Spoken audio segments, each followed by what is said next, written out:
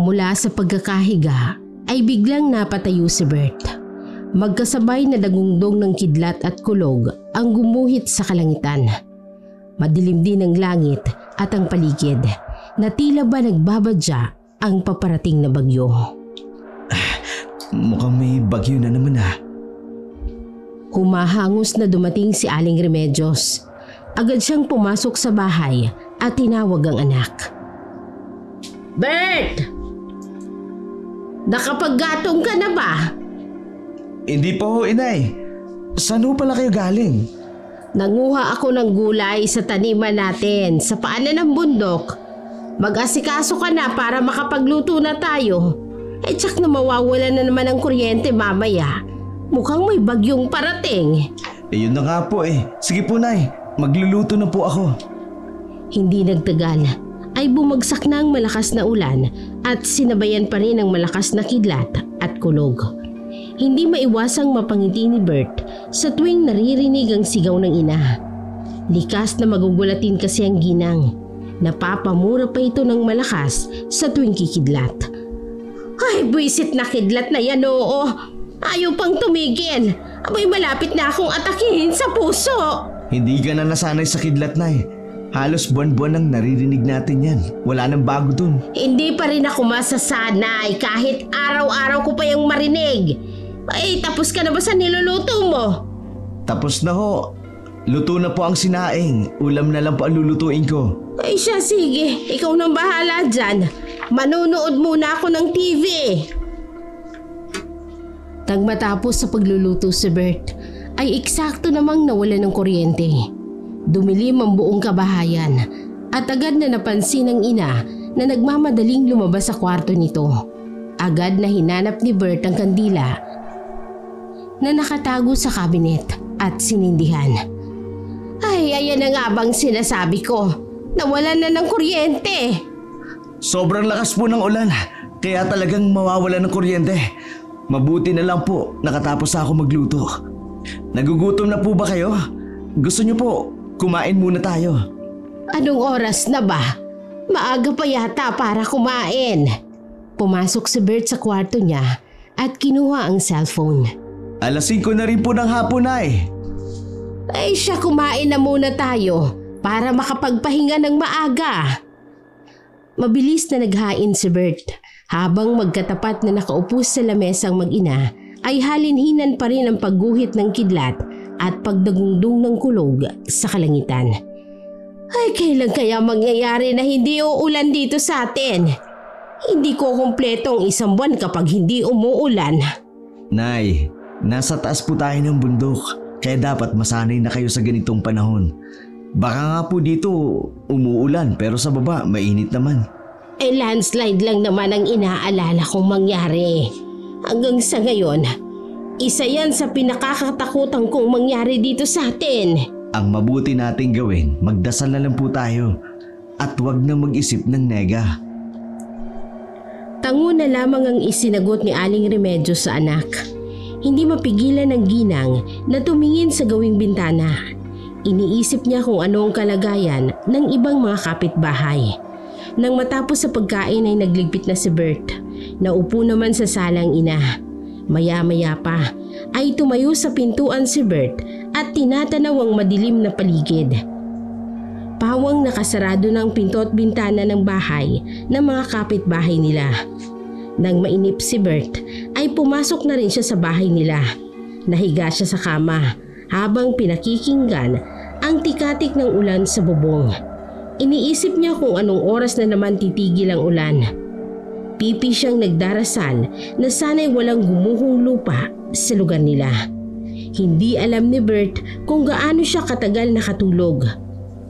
Nagising na lamang siya na kinakatok ng kanyang ina. Mabilis siyang bumangon at binuksan ang pinto. Bakit po inay? Magmadali ka! Kailangan nating lumikas! Maraming lupa na ang gumuho! Ho? Dalian mo na! Lumilikas na mga kapitbahay natin! Nagmadali si Bert. Kinuha niya agad ang bag at naglagay ng kung anong mahilang damit sa kabinet. Dinala niya mga importanteng papeles nila. Nang muli siyang tawagin ng ina, ay nagkukumahog siyang lumabas. Tumambad sa kanya ang katabing bahay nila. Halos natatabunan na nang gumuhong lupa ang kalahati ng bahay. Nagtatakbuhan ang mga tao habang sumisigaw ng malakas. Nakaramdam ng takot si Bert kaya tumakbo siya para maging ligtas sila. Hindi niya alam kung nakalabas o ligtas ba ang kapitbahay nila. Nay, saan tayo pupunta ngayon? Kailangan nating makaalis dito. Bumaba tayo ng bundok. Kailangan nating makahingi ng tulong kay Mayor. Sige po.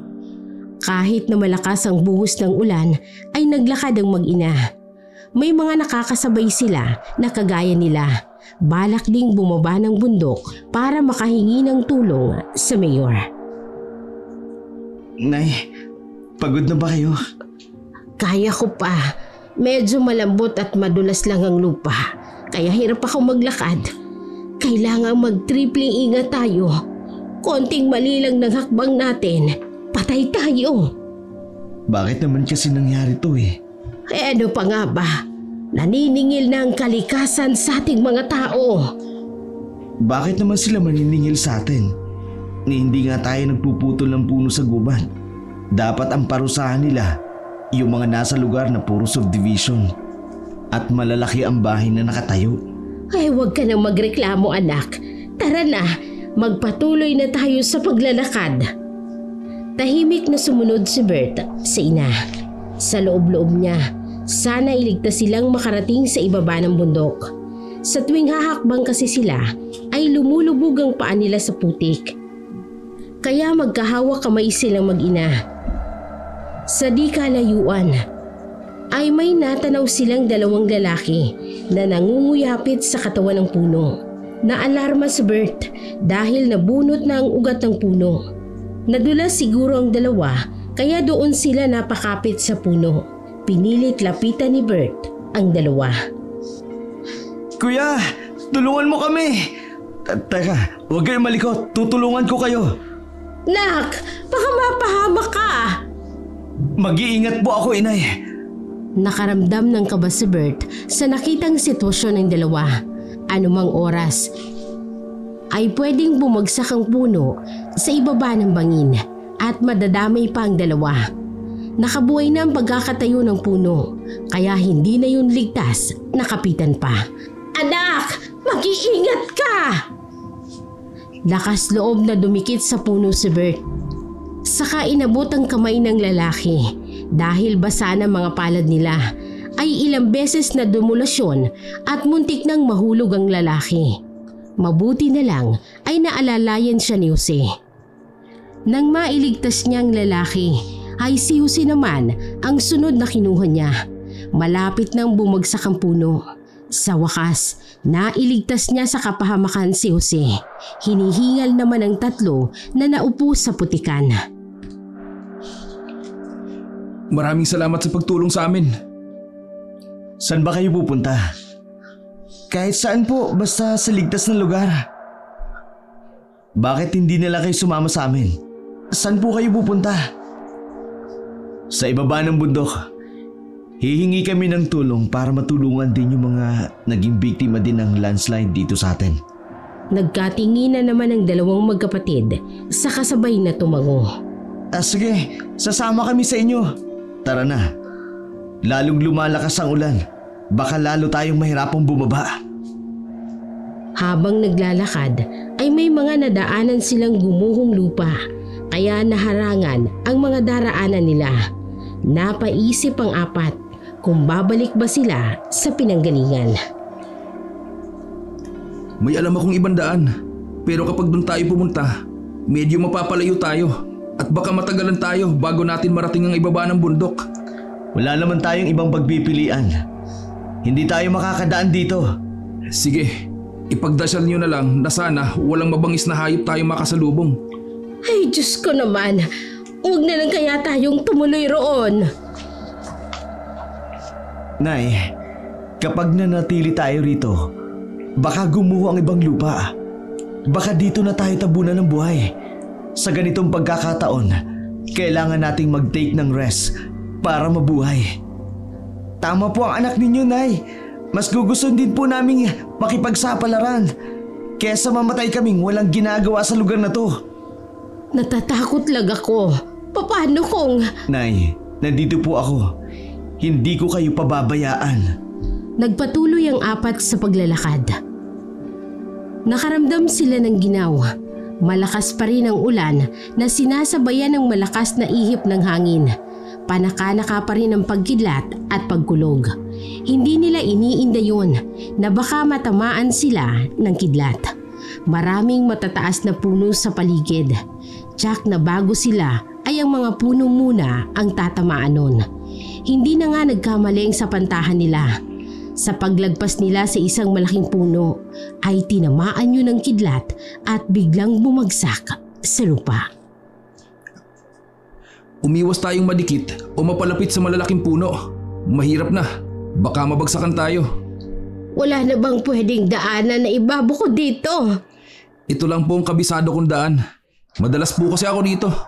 Mas mahirap pong pumunta sa lugar na hindi nyo kabisado at baka maligaw lang tayo. Pasensya ka na sa nanay ko.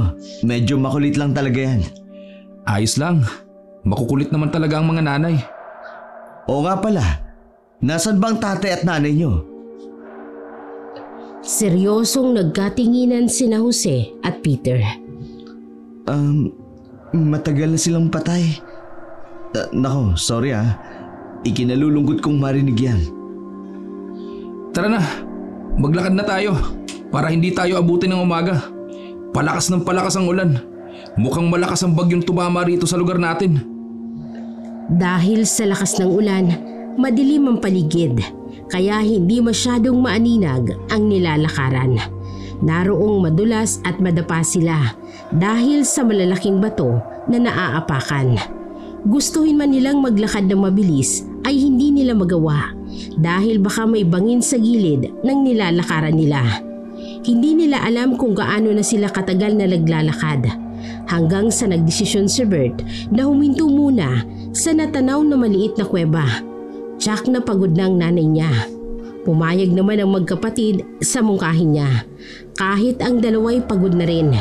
Nang makapasok sila sa bungad ng kuweba, saka napansin ni Bert na wala ang ina. Kinabahan siya at inilibot ang paningin sa paligid. Nay! Lumabas ng kuweba si Bert habang isinisigaw pa rin ang pangalan ng ina. Lumabas din ang magkapatid para tumulong na maghanap kay Aling Remedios. Nay! Saan ba siya nagpunta? Huwag naman sana. Baka nakain siya ng mabangis na hayop. Imposible. Nasa likod ko lang siya kanina. Nay! Nasaan ka? Hindi magandang biro ito! Ginalugad ni Bert ang mga damo. Baka naroon ang nanay niya. Ang lakas ng kabog ng dibdib niya. Kung ano-ano ang pumapasok sa utak niya. Huwag naman sanang nakain ang ina niya. Sa kagustuhang mahanap ang ina ay bumalik siya sa dinaanan nila. Mag-iingat ka. Baka makasalubong mo ang mabangis na hayop dyan. Kahit anong klaseng hayop pa siya, hindi ako natatakot sa kanya. Kailangan kong hanapin ang nanay ko. Diyan ka maghanap. Dito kami maghahanap. Baka naligaw lang siya eh.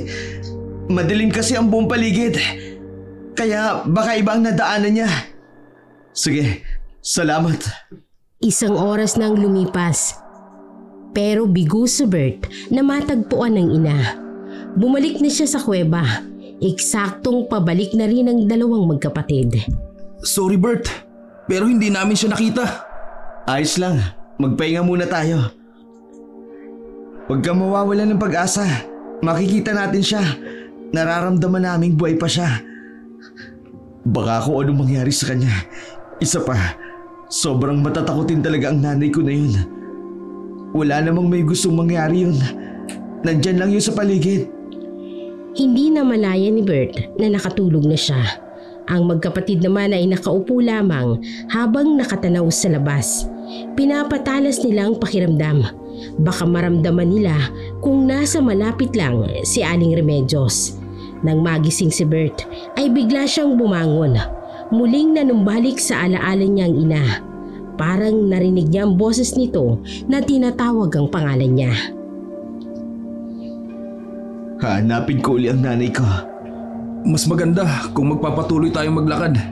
Mas malaki ang chance na makasalubong natin siya kesa dito lang tayo nananatili sa lugar na to.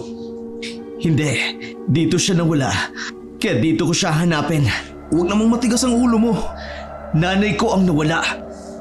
At hindi simpleng tuta lang. Bahala ka kung magpapaiwan ka dito. Basta kami, magpapatuloy. Nilingon ni Peter ang kapatid. Tango naman ang isinagot ni Jose. Mas magandang kung hindi tayo maghihiwa-hiwalay. Makinig ka na lang, Bert. Tutulungan ka naming hanapin ang nanay mo. Napasabunot sa buhok niya si Bert. Hindi niya alam kung anong gagawin. Ano bang desisyon ang pipiliin niya? Isa pa sa iniisip niya ay baka maligaw pa siya sa gubat na yon dahil hindi naman niya kabisado. Kung makabababa siya ng bundok, makakahingi siya ng tulong para mahanap ang ina. Sige, sasama ako sa inyo. Habang naglalakad ay isinisigaw pa rin ni Bert ang pangalan ng ina. Baka sakaling marinig siya at lumabas ito sa pinagtataguan. Biglang napatingin sa isang makapal na damo si Peter. Suminghot-hingot siya at nakaamoy ng panganib. Shh! Bert, huwag ka muna maingay. Tumahimik naman agad si Bert. Nakiramdam din siya sa paligid. Napansin niyang tahimik na nakatayo ang dalawa na parang may inaabangan. Bert, magtago ka muna. Kami nang bahala rito.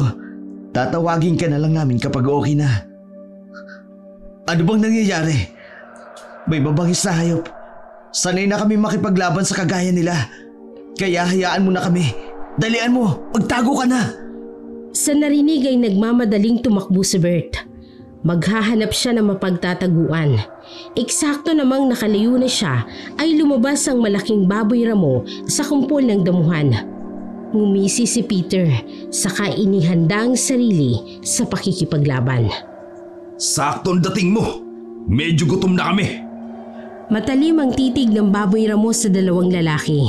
Maya-maya ay sumugod ang baboy ramo at binalak na suwagin ang isa sa kanila. Nakaiwas ang dalawa, saka sinuntok ni Jose ang likod ng baboy. Nang humarap yun sa kanila, ay lalong tumalim ang titig nito. Hindi na hinintay ng dalawa na sumugod pa ang baboy. Pagkalapit nila ay sinakmal nila sa liig at batok ang nasabing baboy. Umatungal yun ng malakas dahil sa sakit na naramdaman. Naririnig yun ni Bert pero hindi siya lumabas. Natatakot siya na baka siya pa ang gawing hapunan ng mabangis na hayop. Inihiga ng magkapatid ang baboy ramo, saka pinagtulungang kainin ang lamang loob nun. Nagbunyi ang dalawa dahil nakakain sila ng libreng hapunan. Nang mabusog ay pinagtulungan nilang ihagis sa damuhan ang wala ng buhay na hayop. Itinaas nila ang muka sa ulan para malinis ang mga dugo sa katawan at mukha nila. Nang makasigurong malinis na sila, tinawag na nila si Bert. Kahit takot ay lumabas pa rin ang lalaki. Nang makalapit na siya sa dalawa, ay sinipat niya ang mga yun kung may sugat ba. Ayos lang kami. Napatay na namin ang baboy ramo. Baboy ramo? Sanay kaming mga aso, kaya sisiw lang sa amin kung papaano manghuli at pumatay ng mabangis na hayop. Nasaan ang baboy ramo? Baka pwedeng makita. Nandyan, sa likod ng damo na yan. Dahil sa hatak ng kuryosidad, kaya naman hindi nagdalawang isip na hawiin ni Bert ang damuhan. Nagulat siya nang makitang nakahandusay ang baboy ramo at puno ng dugo. Tara na, baka may umatake na naman sa atin. Samantala, magkahalong takot at pangamba ang nararamdaman ni Aling Remedios. Kahit madilim ang nilalakaran ay nagpatuloy siya. Naligaw na siya dahil hindi makita ang mga kasama. Paos na siya kaya tumigil na rin siya sa pagsigaw. Nananalangin na lamang siya na sana'y ligtas ang tatlo, lalo na ang anak na si Bert. Habang mabagal na naglalakad, ay naaninag niya sa di kalayuan ang isang itim na bulto ng katawan ng tao. Tingin niya ay naglalakad yon. Manong! Manong! Saglit na tumigil ang lalaki at hinintay ang tumawag sa kanya. Pwede bang makisabay? Taliligaw po kasi ako. Hindi ko kabisado tong lugar. Nang makalapit si Aling Remedios, ay abot-abot ang hingal niya. Tinanong ng lalaki kung wala ba siyang kasama. "Eh, meron, pero nawala ako. Hindi ko na sila makita. Nagpakilala ang lalaki na si Mang Ben. Muli nitong tinanong kung saan siya patungo. Sa ibaba ng bundok. Eh, kayo ho ba? Napag-alaman ni Aling Remedios na hihingi ng tulong dahil natabunan daw ng gumuhong lupa ang bahay nila at naiwan sa loob ang asawa at anak niya. Nakakalungkot naman pala ang nangyari sa pamilya mo. Sa tansya ni Aling Remedios ay kaidaran niya ang lalaking kasama. Habang naglalakad sila ay tahimik lang yun at hindi man lang siya kinikibo. Ayaw naman niyang mangulit. Laking pasalamat na lang niya dahil nakakita siya ng makakasama. Manong, itatanong ko lang sana, kabisado mo ba ang dinadaanan natin? Tipid naman na sumagot ang lalaki at sinabing tagaron siya kaya kabisado raw nito ang lugar. Huwag kang mag-alala, kapag nakababa na tayo, makakahingi tayo ng tulong kay Mayor. Sana lang ay buhay pa ang pamilya mo. Malungkot ang naging sagot ni Mang Ben. Ayon dito, ay hindi na siya umaasang buhay pa sila. Ang gusto lang niya ay mahukay ang katawan nila para mabigyan sila ng disenteng libing. Hindi na nakapagsalita pa si Aling Remedios. Ramdam niya ang bigat at lungkot sa tinig ng lalaking kasama. Hindi tuloy maiwasang maalala niya ang pumanaw niyang asawa. Pagkalunod naman ang ikinamatay nito. Ngunit nang matagpuan nila ay halos kalahati na lang ang katawan nito.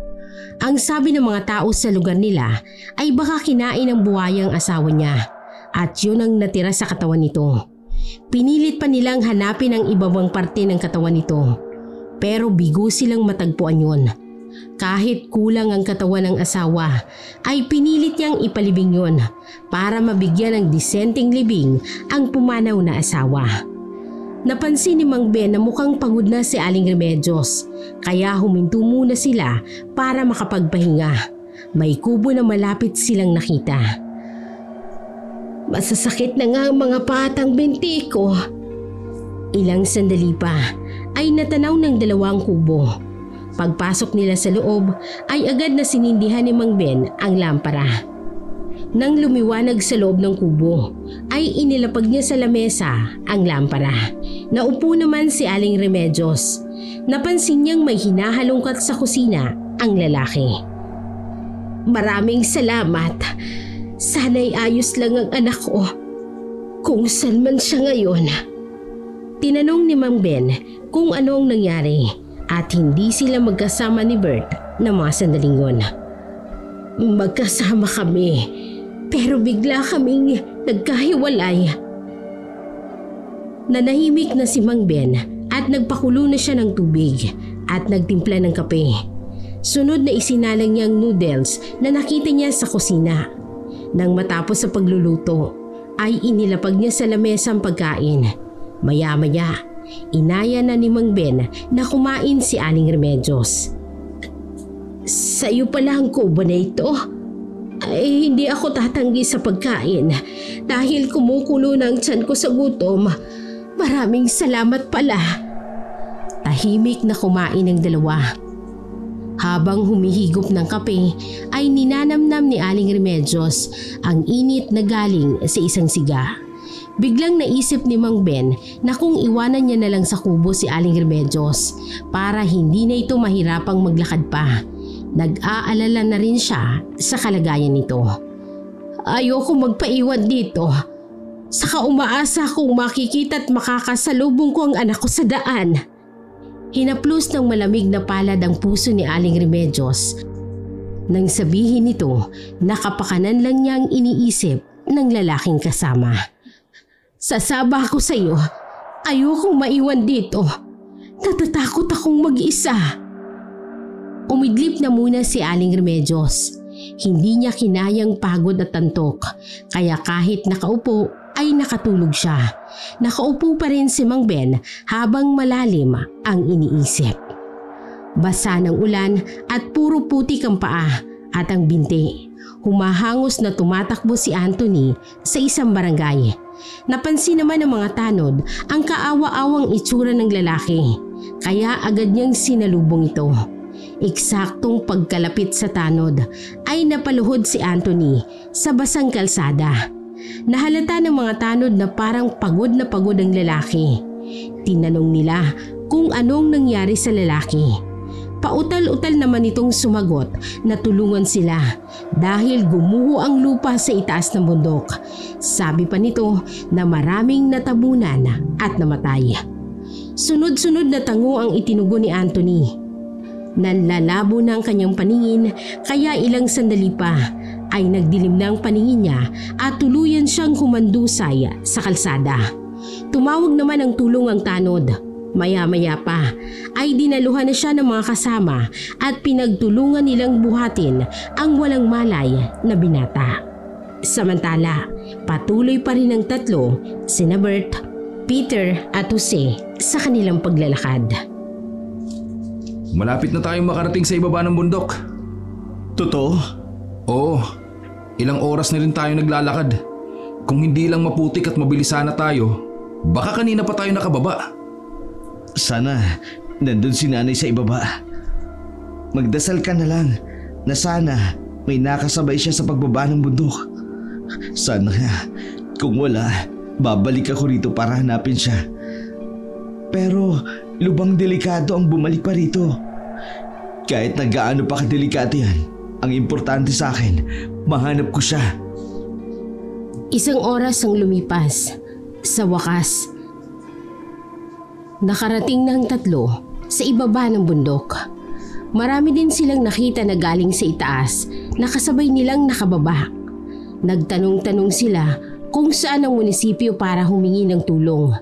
Nang ituro sa kanilang daan ay nagtyaga sila muling maglakad.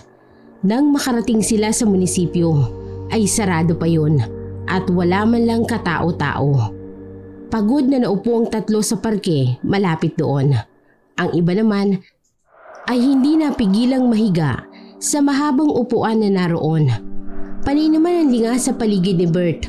Umaasa siya na baka isa na ang kanyang ina sa makikitang naglalakad doon. Magpahinga muna tayo. Mukhang mamaya pa magbubukas ang munisipyo. Kayo magpahinga. Ako kanina pa ako kahit papano nakaidlip na ako. Kapag nakaramdam ka ng antok, matulog ka na rin. Nahigang magkapatid at ilang sandali pa ay sabay nang humihilik. Humiga na rin si Bert pero hindi siya makatulog dahil ang mukha ng ina ang gumugulo sa isip niya. Parami na rin ang parami ang mga taong dumarating sa munisipyo. Alam niyang galing yun sa itaas ng bundok. Base na rin sa itsura ng mga ito. Nay, nasan ka na ba? Sana ayos ka lang. Matinding sikat ng araw ang nagpagising sa tatlo. Agad silang naupo at iginala ang mga mata sa paligid. Maingay na at marami na ring taong naglalakad. Agad na bumangon si Bert at sinasat ang kabuuan ng gusali ng munisipyo. Pumasok na tayo sa loob para makahingi na tayo ng tulong. Sabay-sabay na pumasok ang tatlo. Pagkalista ng pangalan sa logbook ay tinanong nila kung saan ang mismong opisina ng mayor Itinuro naman ng nakausap na babae na nasa itaas ang opisina. Nang mabasa nila ang pangalan ng mayor sa pinto, ay kumatok sila. Nang may nagsalita sa loob ng kwarto, ay saka lamang sila pumasok. Naabutan nila ang ibang mga taong na naroon. Alam nila na galing din sa itaas ng bundok base sa naririnig nila na hinihingi ng tulong ng mga ito. Sinabi ni Mayor Santillan na huwag silang mag-alala dahil magpapadala ito ng mga tauhan para umakyat sa bundok kung saan nangyari ang pagguho ng lupa. Magbibigay din daw ng tulong sa mga nasalanta. Ang daming nakikiusap, napilit na hukayin ang mga natabunan nilang mahal sa buhay. Lahat yun ay ipinangako ni Mayor na gagawin ng lahat para makuha ang mga bangkay. Ilang sandali pa pinagpahinga ni Mayor ang mga taong naroroon. Ayon pa rito, ipapaayos nito ang malapit na covered court doon. Pansamantala ay doon muna sila pwedeng manatili hanggang sa hindi pa nasisigurong ligtas na sa lugar nila. Lalong natuwa ang mga tao nang sabihin ni Mayor na libre ang tulugan, damit, tubig at pagkain. Sabay-sabay na nagpasalamat ang mga taong naroon. Nagsasalita pa sana si Bert pero hindi na siya nakasingit dahil may tumawag sa cellphone ni Mayor. Nang matapos kausapin ang tumawag ay nagmamadaling umalis si Mayor. Walang nagawa ang tatlo kung hindi ang sumunod sa mga taong naroon. Pagdating sa covered court ay binigyan sila ng kumot at unan. Namili sila ng pwesto. Halos lahat ng sahig ay may mga karton. Nang maupo sila ay eksakto namang dumating ang mga rasyon ng pagkain at tubig. Tinitigan ni Bert ang hawak. Muli na namang sumagi sa alaala niya ang kanyang ina. Nay, sana nandito ka para makakain ka at makapagpahinga kagaya namin. Hindi naman nakaligtas sa pandinig ng magkapatid ang ibinulong ni Bert. Nakaramdam din sila ng awa para sa kasama. Tinapik ni Peter ang likod ni Bert. Kapag wala pa rin ang nanay mo bukas, balikan at hanapin na natin siya. Talaga? Oo, alam ko naman ang nararamdaman mo. Nawala na kami ng magulang, kaya nauunawaan ka namin. Maraming salamat, Peter. Sa ngayon, kumain muna tayo. Tapos magpahinga na rin.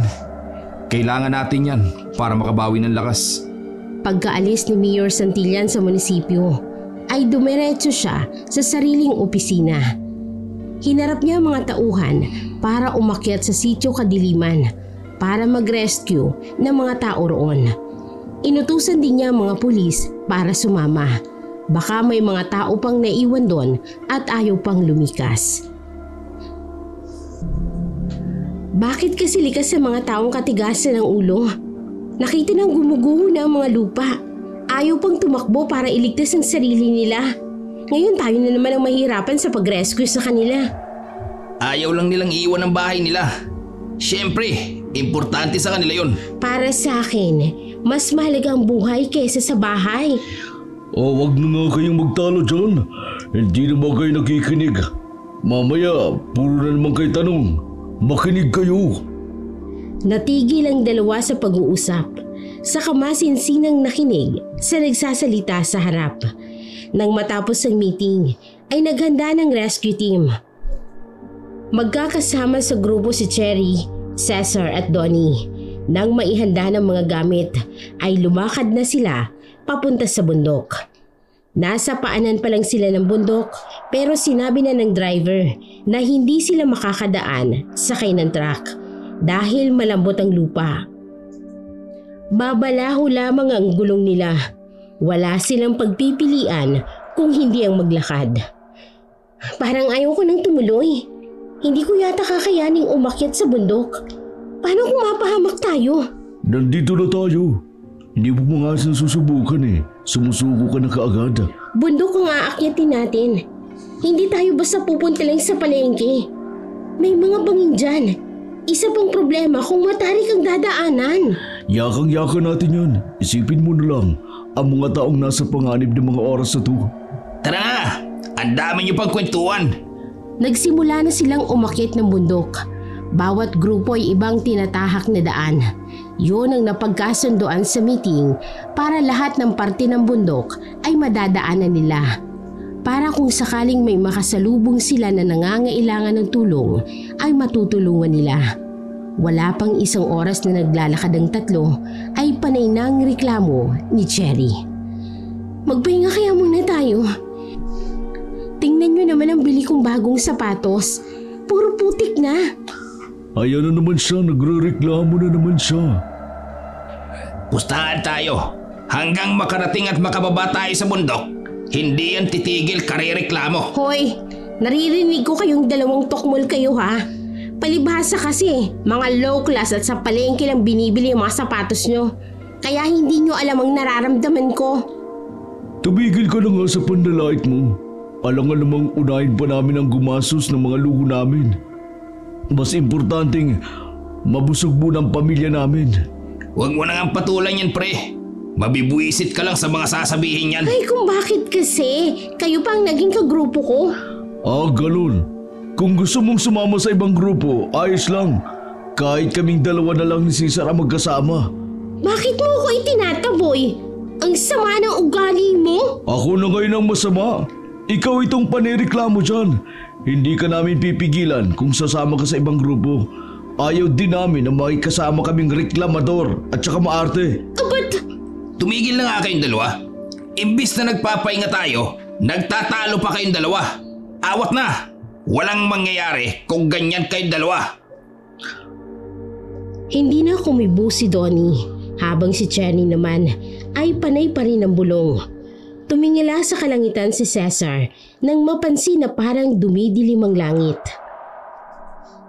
Mukhang bubuhos ulit ang malakas na ulan. Tara na, maglakad na tayo at baka dito pa tayo abutan. Nagpatuloy ang tatlo sa paglalakad. Hindi pa naman sila nakakalayo ay biglang bumuhos ang malakas na ulan. Tumakbo ang tatlo para maghanap ng masisilungan pero wala silang nakita. Puro malalaking puno ang naroroon. Hapon pa lang yon pero kung titingnan ang buong paligid ay parang gabi na. Biglang dumilim ang buong paligid. Nakaramdam ng takot at kaba si Cherry. Sa isip niya, baka kung ano nang mangyari sa kanila sa lugar na yon. Natatakot ako. Bumaba na lang kaya tayo. Huwag na tayong tumuli pa sa pupuntahan natin. Eh, hindi kasi magandang pakiramdam ko sa lugar na to. Ayang ka na naman eh. Hindi nga tayo pwedeng bumalik. Trabaho ang ginagawa natin. Masisisanti tayo kapag bumaba tayo. Baka hindi na tayo makabalik ng buhay. Iwasan mo mag-isip ng nega, Cherry. Kasama mo kami. Hindi ka namin pababayaan. Para kumalma ang dalaga, hinawakan ni Cesar ang dalawang palad ni Cherry. Napansin niyang napakalamig pala noon. Pinisil-pisil niya para kahit papaano ay maging maayos ang pakiramdam nito. Maghanap tayo ng masisilungan para hindi tayo mabasa ng gusto. Pero sa ngayon, kailangan nating magpatuloy sa paglalakad. Baka may mga lupa na gumuho. Mahirap na kung maabutan tayo nun. Tumango si Cherry, saka nagpatiunang maglakad. Sumunod naman ang dalawang lalaki sa kanya. Kahit madilim ang paligid, ay may gamit naman silang flashlight. Nakakatulong yun para makita nila ang dinadaanan. Samantala, nang magising si Aling Remedios ay umaga na. Ginising niya si Mang Ben na kagaya niya ay nakatulog din sa upuan. Mabilis namang nagmulat ng mga mata ang lalaki. Napahaba ang tulog natin. Umaga na. Humingi ng pasensya si Mang Ben dahil hindi daw niya napigilan ang kanyang antok. Ayos lang, pero mahina pa rin ang ulan sa labas. Hindi na nag-almusal pa ang dalawa. Nagpatuloy na ulit sa paglalakad. Masayang nararamdaman ni Aling Remedios. Sa isip niya ay umaasam siya na magkikita na sila ng anak na si Bert. Habang naglalakad ay hindi napansin ni Aling Remedios ang pagguho ng lupa sa dadaanan niya. Nakita yun ni Mang Ben kaya mabilis na itinulak ang babae. Lahat ng lupa ay bumagsak kay Mang Ben. Tigalgal sa pagkakatayo si Aling Remedios, hindi makapaniwala sa nasaksihan. Tulog! Tulugan niyo kami! Tulog! Sumigaw si Mang Ben kay Aring Remedios. Ang gusto ng lalaki ay iwanan na siya ron dahil kahit anong sigaw ang gawin nila ay walang makakarinig sa kanila.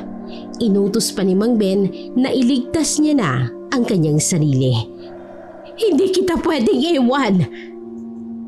Sa pagkakataong yun, nagalit si Mang Ben. Pilit niyang pinapaalis sa lugar na yun si Aling Remedios. Pangako, Babalikan kita. Hihingi ako ng tulong sa ibaba para makalis ka dyan. Kahit nangangatal sa takot, ay walang nagawa si Aling Remedios kung hindi ang sumunod sa utos ng lalaki. Pikit matang tumakbo siya palayo habang umiiyak. Mag-isa na naman siya sa lugar na yon. Walang kasama, walang makakausap. Ay Diyos ko, tulungan niyo po ako. Sana'y makahanap ako ng tamang daan para makaalis ako sa lugar na ito. Kabayan niyo po sana ako. Hapon, hindi mapakali si Bert sa pagkakahiga. Ang ina pa rin ang iniisip niya. Sobra na siyang nag-aalala sa kalagayan nito. Para matahimik ay isang desisyon ang nabuo sa isip niya. Babalik siya sa bundok para hanapin ang kanyang ina. Hindi na niya kaya pang palipasin ng isang gabi na wala pa rin ito sa tabi niya. Tumayo siya at isinukbit ang bag. Naalarma naman ang dalawa. Saan ka pupunta? Hindi ko na magawang mahintay pa dito ang aking ina. Babalik ako sa bundok. Hahanapin ko si nanay. Huwag niyo na lang sabihin bumalik ako. Sasama kami kung ganon. Lubhang mapanganib sa bundok, lalo na't malapit ng gumabi. Hindi niyo na ako kailangan samahan. May utang na loob kami sa'yo, kaya sasamahan ka namin. Sigurado ba kayo? Oo, Hindi nga napigil ni Bert na samahan siya ng magkapatid. Abala naman ang mga tao sa covered court kaya walang nakapansin sa pag-alis nila. Hindi na maipinta ang mukha ni Cherry ng mga oras na yon. Dahil sa lakas ng ulan kaya sobrang lumambot ang lupa. Kada hahakbang siya ay lumulubog na halos ang buong sapatos niya. Kaya nakadagdag yon ng inis niya. Sigurado ba kayo natutuloy pa rin tayo sa pupuntahan natin? Hindi niyo ba napapansin? Habang tumatagal, lalong lumalambot ang lupa. Baka mamaya bigla na lang tayong lumubog dito. Alam mo, Cherry, kung gusto mo bumalik, bumalik ka na lang. Hindi naman nakakatulong ang panay na pagrereklamo mo. Nakaramdam na rin ng inis si Cesar. Mahirap na nga ang sinusuong nilang sitwasyon. Dumagdag pang isang kasama nila na walang ibang ginawa kung hindi ang magreklamo. Kung mag-isa lang akong babalik, wag na. Hindi ko kayang maglakad mag-isa pabalik. Saka hindi ko tanda yung dinaanan natin. Pwes, magtiis ka. Sino bang hindi nahihirapan ngayon? Nasa na kayang ibang grupong kasama natin? Sana naman ayos lang sila. Kapag nakakita tayo ng pansamantalang pwedeng silungan, magpahinga muna tayo kahit saglit lang ha. Ay, salamat.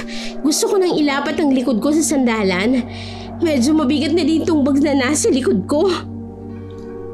Natigil sa pagsasalita si Cherry nang mapansin ang isang bulto ng katawan ng tao na tumatakbo sa gitna ng malakas na ulan. Tinutukan ni Cherry ng hawak niyang flashlight ang nakikita. Biglang tumigil yon kaya nilapitan ng tatlo ang anino. Nasilaw naman sa liwanag si Aling Remedios kaya itinakip niya ang dalawang braso sa buong mukha. San po kayo galing?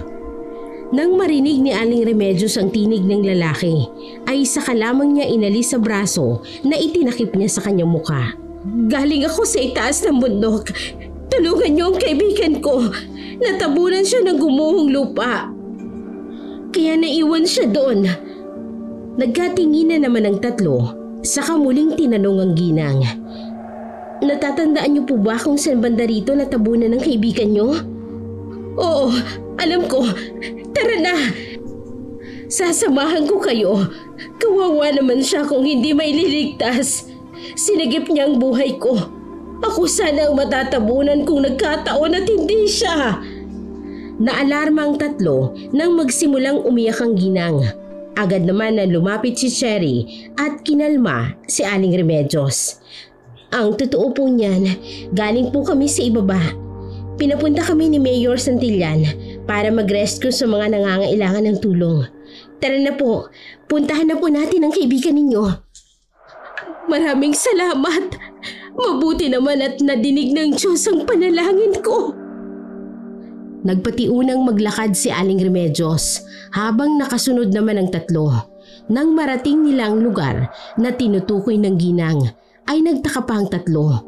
dahil wala namang gumuhong lupa sa itinuturo nito. Diyan, diyan siya natabunan. Mang Ben, magsalita ka. Tinupad ko na ang pangako ko sa iyo na babalikan kita. May tutulong na sa iyo para makaalis ka dyan. Walang narinig na tugon ng apat mula sa tinatawag nitong Mang Ben. Nagpalitan ng kakaibang tingin ng tatlo. Hindi nakatiis si Cesar at kinausap ang ginang. Nay, hindi po kaya sa ibang lugar na tabunan ng kaibigan nyo at hindi dito? Wala po kaming nakikitang gumuhong lupa. Nay, baka naman po, dala lang po yan ng pagod. Kaya kung ano-ano na lang po ang nakikita ninyo. Hindi ako pwedeng magkamali. Kitang-kita ko nang matabunan siya ng lupa. Nay, ang mabuti pa po siguro, sumama na lang kayo sa amin. Gusto niyo ba ihatid namin kayo sa shelter? May inihanda po si Mayor para po sa mga kagaya ninyo. Ligtas po kayo doon. Ang, ang anak ko, naroon ba ang anak kong si Bert? Hindi ko po alam pero marami pong tao doon na galing dito sa bundok. Baka isa doon ang anak ninyo. Pero kung sasama ako sa inyo, paano ang kaibigan ko? Ahanapin po namin ang kaibigan ninyo. Hindi po kami titigil hanggat hindi siya nakikita. Pangako ba yan? Opo naman. Gagawin po namin ang lahat para magawa ang trabaho namin. Maraming salamat. Gusto niyo bang magpahinga muna? May alam akong kubo na malapit dito. Yung kaibigan ko ang may-ari noon. Pwede kayong magpahinga doon. Baka po magalit ang kaibigan nyo kapag nag-trespassing kami sa kubo niya. Mabait si Ben. Hindi yun magagalit. Inalay nga niya ang buhay niya para sa akin. Napakabuti niya. Ah sige po Nay, pumunta po tayo sa kubo niya para kahit saglit eh makapagpahinga kami. Ang malungkot na mukha ni Aling Remedios ay napalitan ng saya. Hindi nagtagal. Hindi nagtagal, ang apat ay nakarating na sa sinasabi nitong kubo. Pagdating sa loob ay binuksan ang ginang ang gasera. Naupo naman ang tatlo habang iginagalang paningin sa kabuuan ng kubo. Mukhang nagsasabi naman siya ng totoo. Akala ko kanina may tama sa utak eh. Naisip ko nga, baka pinagtitripan lang tayo eh. Hindi kayo nagka-emotional breakdown siya kaya kung ano-ano na lang ang nakikita kahit hindi naman totoo? Hindi malabong mangyari. Nag-iisa siya sa madilim at masukal na gubat. Walang kasama. Isabay pa ang pagod at gutom. Yung uhaw at saka takot. Kaya siguro nag-halusinate na siya.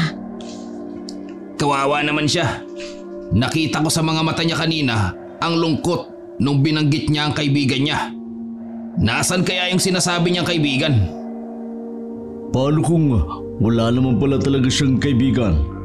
Subukan pa rin nating hanapin. Wala namang mawawala kung susubukan. Talaga ba? Kanina nga, gusto mo nang umuwi. Che, nagsisimula ka na namang mang asar. Magkape muna kayo. Pasensya na at yan lang ang meron dito. Maraming salamat po. Sakto po. Kanina po po kami nanginginig sa ginawa. Magpahinga na muna kayo. Gagawa ako ng siga para mainitan kayo. Pinanood ng tatlo ang ginagawa ng ginang. Tingin nila ay nasa maayos naman itong pag-iisip. Nang makagawa ito ng siga, ay lumapit sila para mainitan ang katawan. Ilang oras ang lumipas ay nagpa siyang tatlong rescuer na isa sa kanilang bababa muna ng bundok para ihatid si Aling Remedios sa shelter. Cherry, ikaw na lang ang maghatid kay nanay. Kaya na namin ni Donnie ang pag-akyat sa bundok. Sigurado ba kayo? Oo, para hindi ko na rin mahirapan. Paano kung bumalik ako rito pagkahatid ko kay nanay? Huwag mo nang tangkaing bumalik. Basta, kapag hindi na kami nakabalik sa loob ng dalawang araw, magsama ka na ng rescuer para hanapin kami. Baka may nangyari ng masama sa amin. Huwag kang ngang magsalita ng ganyan. Mag-iingat kayo.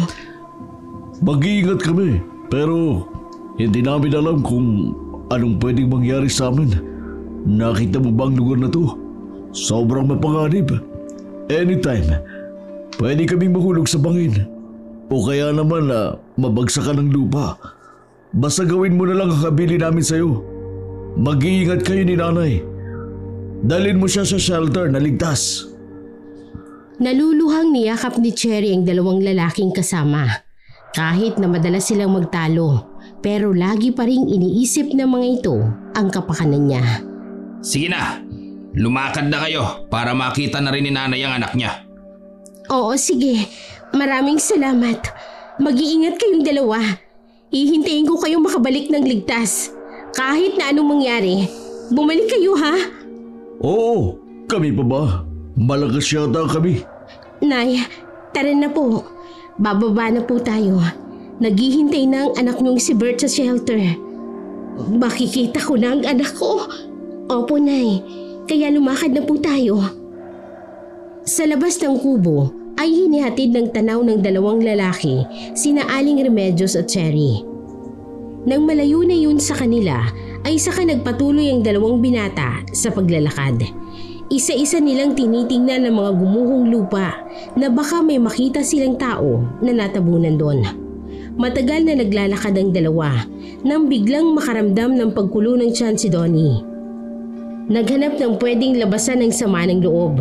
Habang tahimik na nakaupo sa likod ng damuhan ay nakarinig ng mahinang sitsit sa bandang likuran niya si Donnie.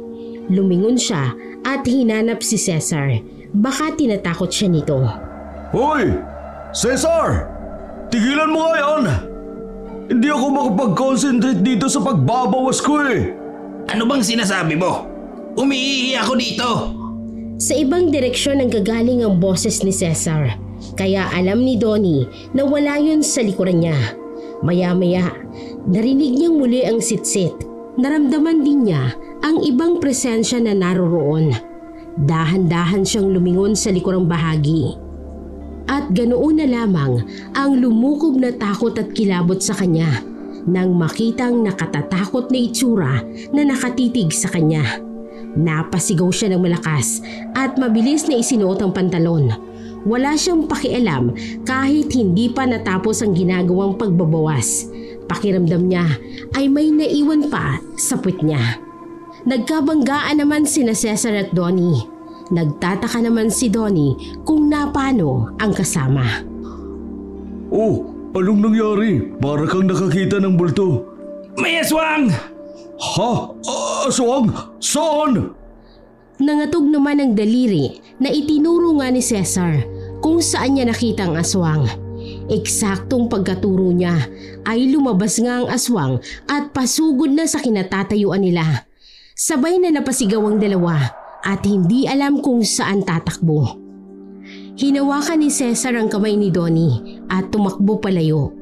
Kahit munti ka na silang madapa at mapatid ay hindi sila humihinto sa pagtakbo.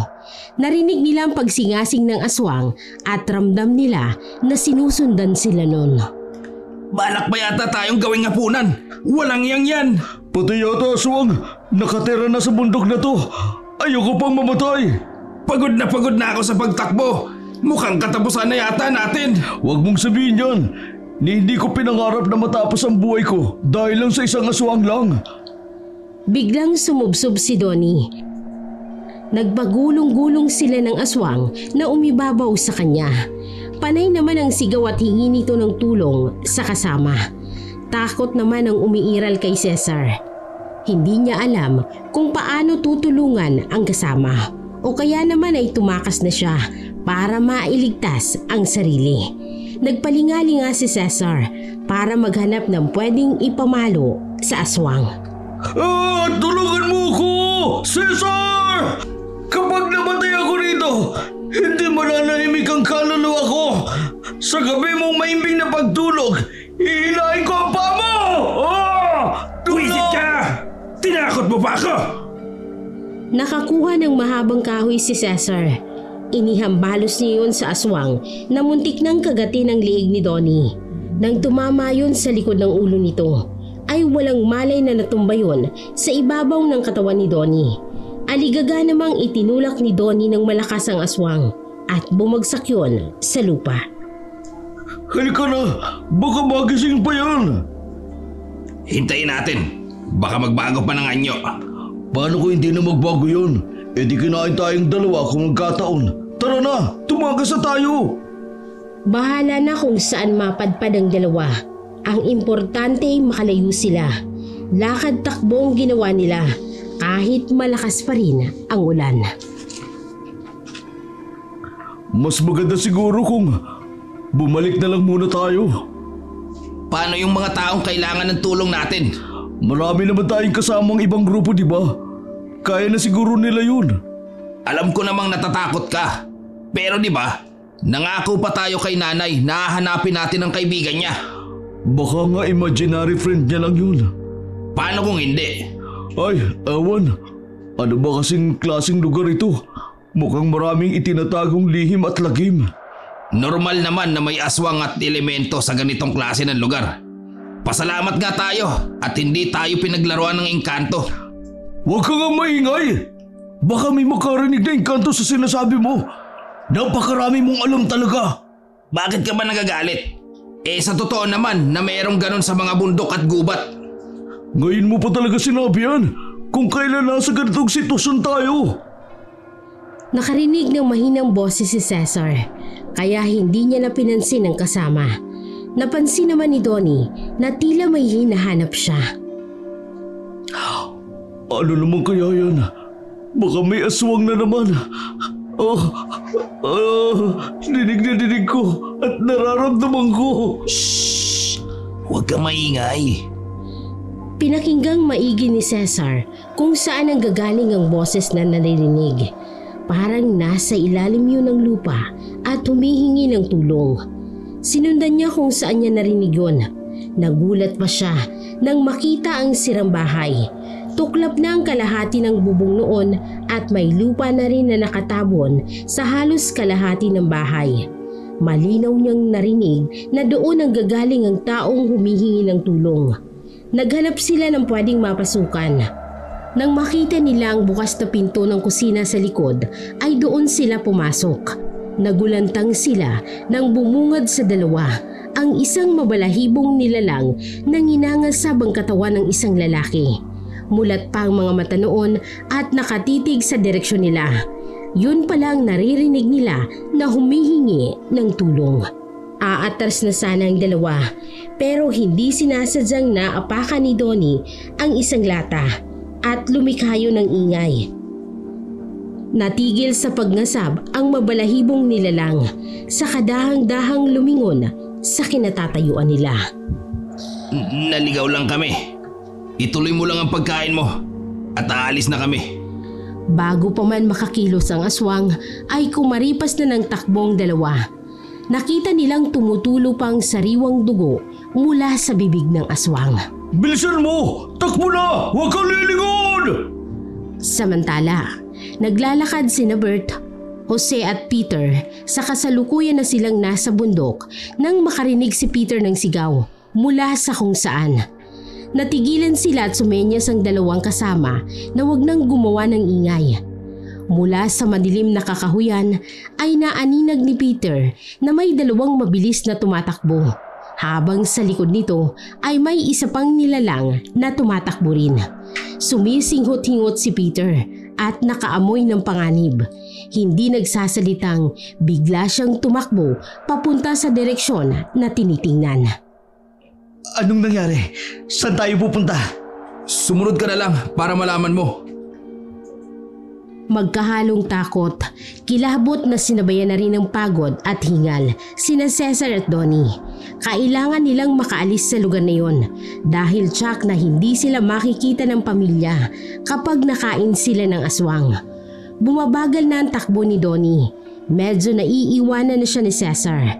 Nagsisimula na rin lumabo ang paningin niya at nararamdaman niyang nawawala na ng lakas ang mga paa at bindi.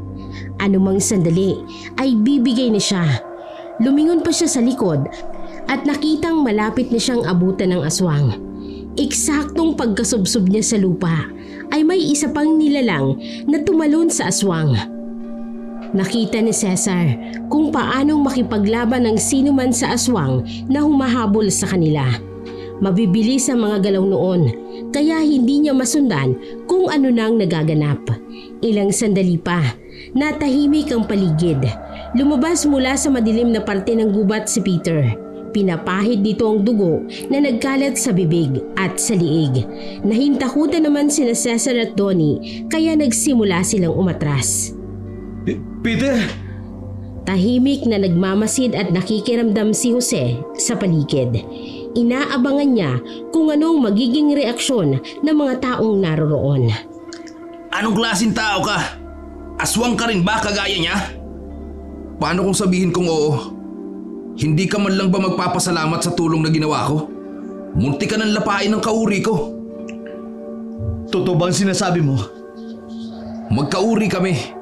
Pero hindi kami kagaya ng mga yan na kumakain ng tao. Pero sariwang karni lang ang kinakain namin. Wala kang kailangang ikatakot. Dahil kung kumakain kami ng tao, sana nung una pa lang, kinain ka na namin, pati ang nanay mo. Tama siya. Hindi namin kayang kumain ng tao.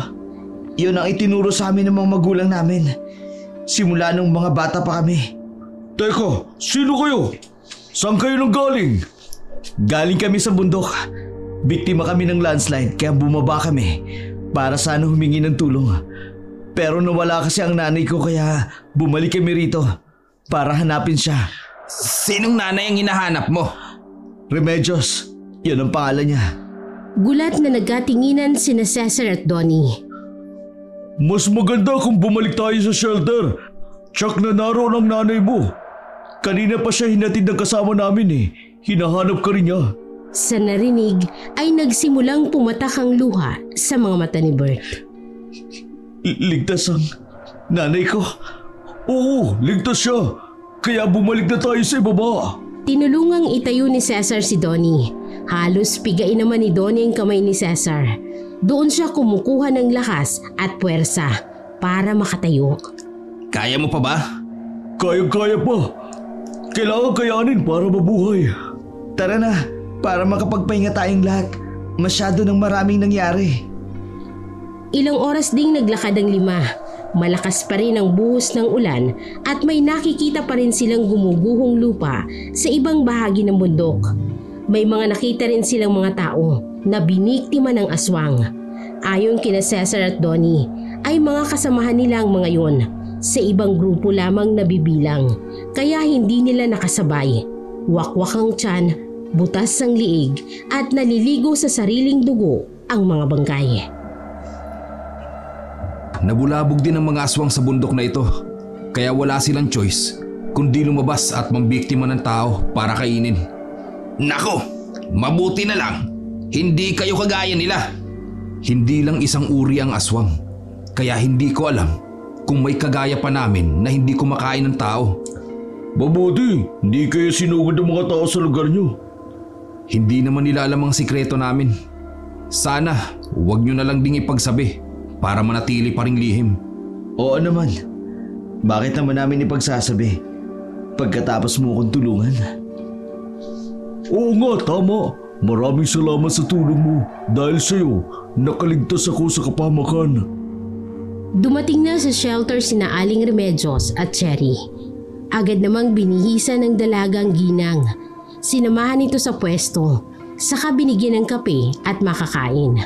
Habang tinitingnan ni Cherry ang ginang, ay naisip niya ang dalawang kasama kung kumusta na kaya ang lagay ng mga yon.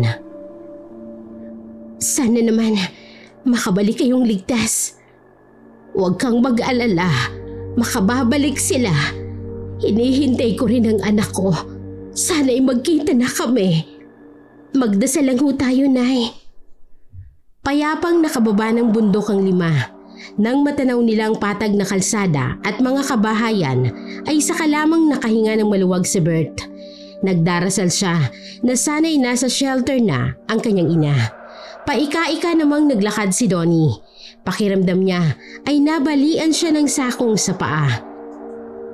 Inaalalayan naman ni Cesar habang naglalakad. Ang dalawang magkapatid na sina Jose at Peter ay walang reaksyon ng muka habang diretsyong nakatingin sa nilalakaran. Marami na silang nakikitang tao kaya alam nilang ligtas na sila. Nang makarating sila sa shelter ay agad na hinanap ni Bert ang ina. Nang makita niyang nakahiga yun, ay patakbo siyang lumapit. Lumuhod siya para yakapin yun ng mahigpit.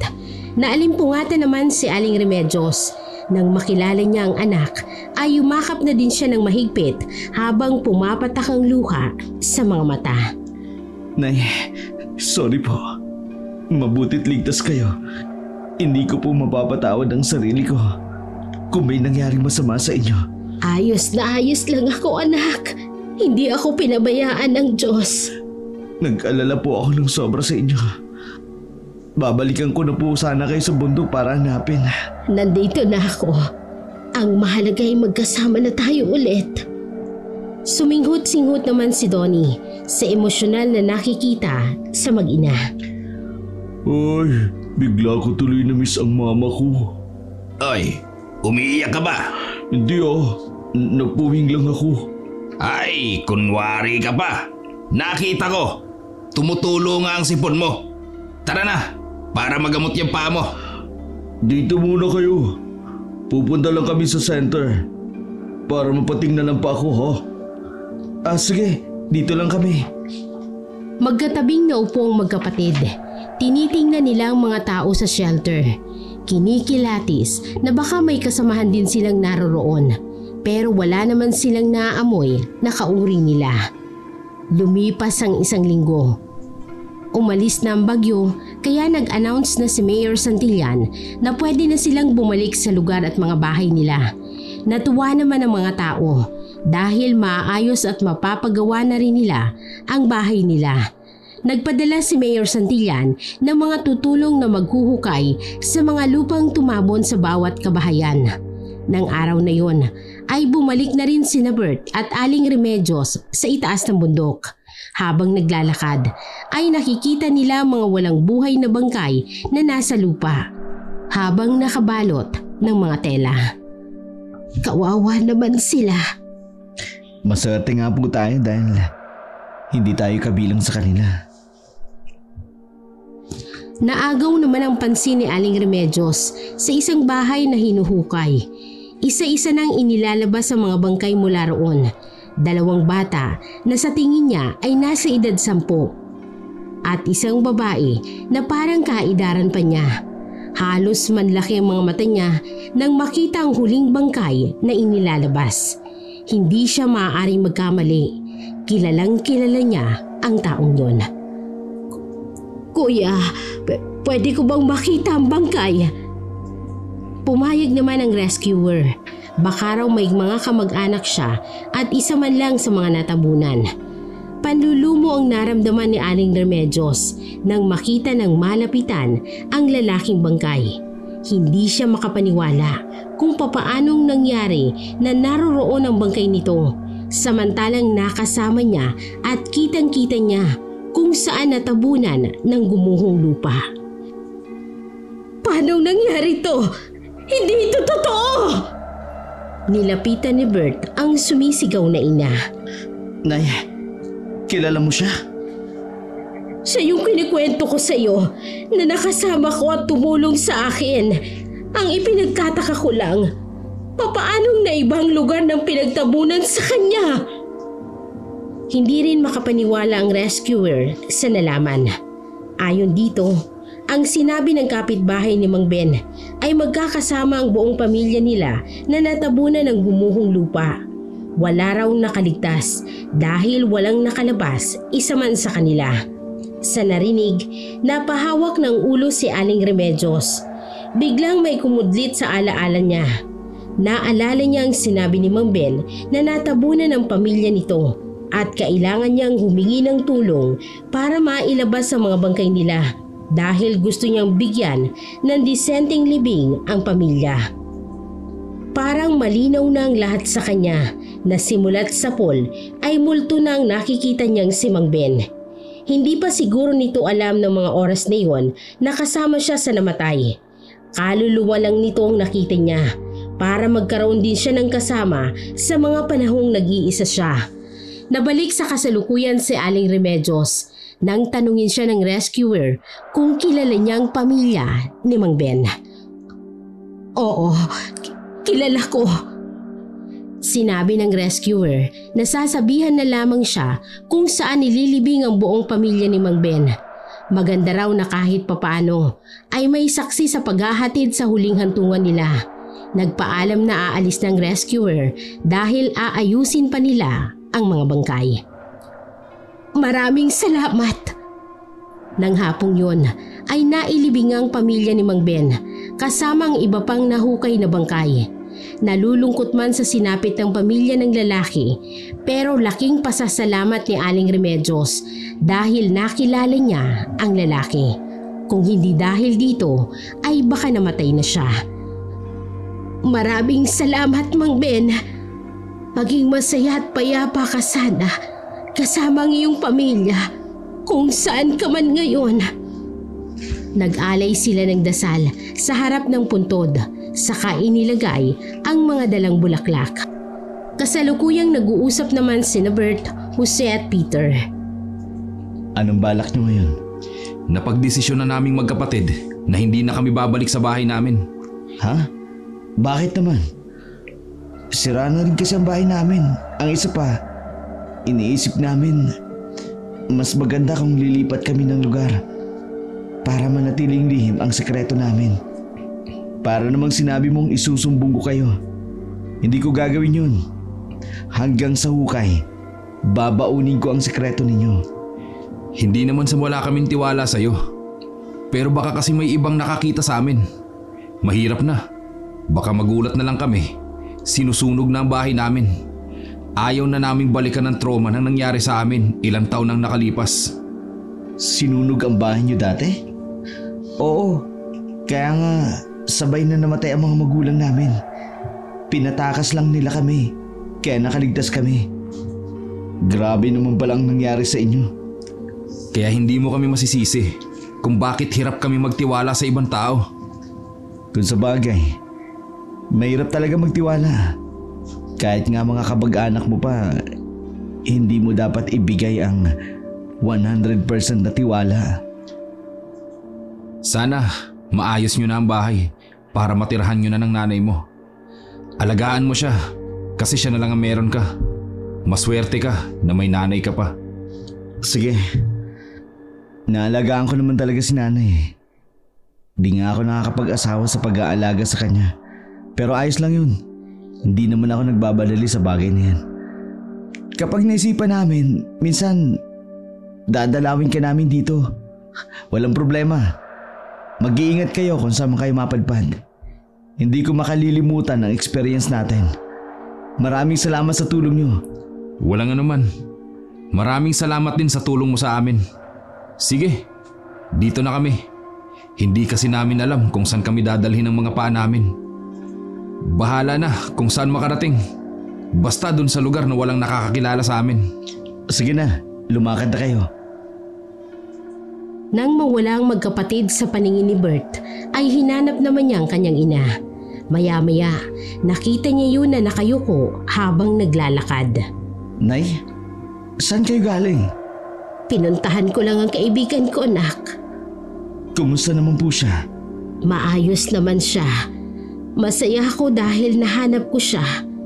Masaya rin ako dahil natupad ko ang gusto niyang mangyari. Huwag ka na malungkot, Nay. Makakasama mo naman sila. At siya naman, kasama siya ng pamilya niya. Kaya alam kong masaya na sila. Lumipas pa ang mga araw. Unti-unti nang naayos at nagagawang bahay ng mga nasalanta. Bumalik na rin sa kani-kanilang buhay ang mga tao sa itaas ng bundok. Malungkot man dahil sa mga nasawi, pero naiisip nila na parte yun ng buhay at kailangan nilang bumangon para harapin ang panibagong bukas. Patuloy pa rin ang pagbibigay ng tulong ni Mayor Santillan para makaahon sa pagkalugmok ang mga tao. Sobrang pasasalamat nila sa butihing mayor na sa simula't umpisa ay hindi sila nito iniwan.